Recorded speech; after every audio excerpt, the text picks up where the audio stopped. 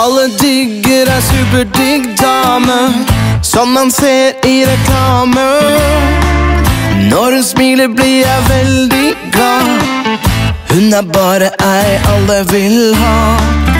Det fins mange måter å kose seg på.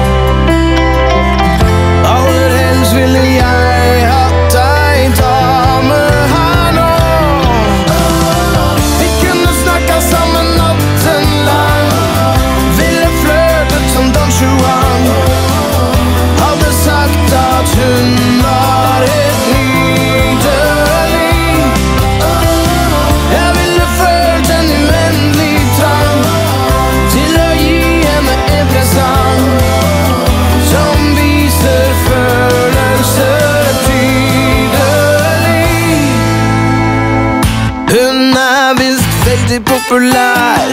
På Facebook har hun venner her og der. Vil hun like meg for den jeg er? Hun får meg til å krype på mine knær.